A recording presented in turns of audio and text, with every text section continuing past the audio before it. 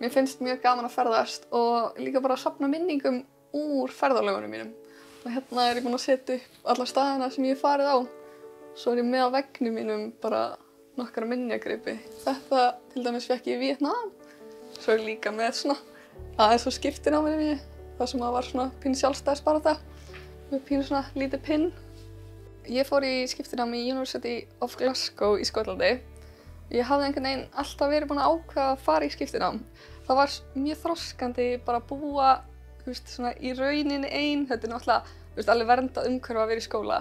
En þetta var svona aðeins insýn í heiminn á þess að vera bara búandi heiminn á mamma og pappa í íslenska skólanum mínum, veist, skólan er sjúklega flottur, annarlega, þú veist, hvað, 600 ára gamall minni mig.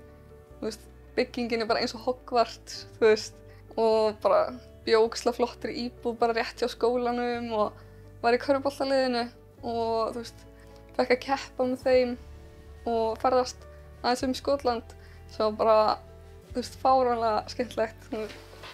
Hérna erum við að keppa í, í Dundee. Þær buðu mér meira að vera með þeim í vetur en okay. ég er bara ekki í skóla, það var svolítið skrítið en það var ótrúlega gaman einhvern veginn að fá, heyra frá þeim aftur, sko. Þetta ertu með peysingu?